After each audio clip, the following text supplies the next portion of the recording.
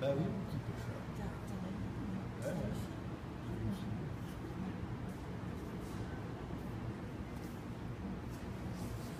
Pierre. À la base, c'était un chemin de terre. C'était un chemin de terre. C'est une photo que j'ai prise dans, dans un guide touristique. Et je trouvais que le sous-bois, il était magnifique. Il y avait une luminosité au niveau des arbres et tout qui était là. Et je me suis dit, en fin de compte, c'est beau les chemins de terre, mais ça serait mieux s'il y avait une rivière à la place du chemin de terre. J'applique à, la base euh, toutes les techniques de l'aquarelle, c'est-à-dire euh, soit je travaille sur, euh, sur du sec, soit sur, sur de l'humide. Alors mes sujets préférés, ben, il y a tout. hein.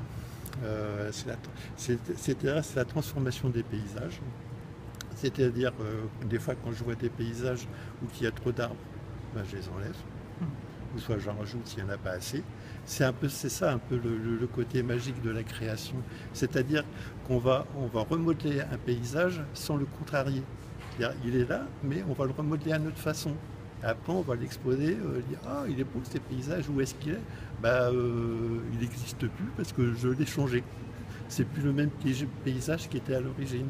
Et c'est un peu, on est des magiciens, un peu dans ce côté-là. On a, on dire, euh, on a le pouvoir de transformer la nature sans la contrarier. Voilà. C'est ça qui est, qui est- c'est vachement important. Ah.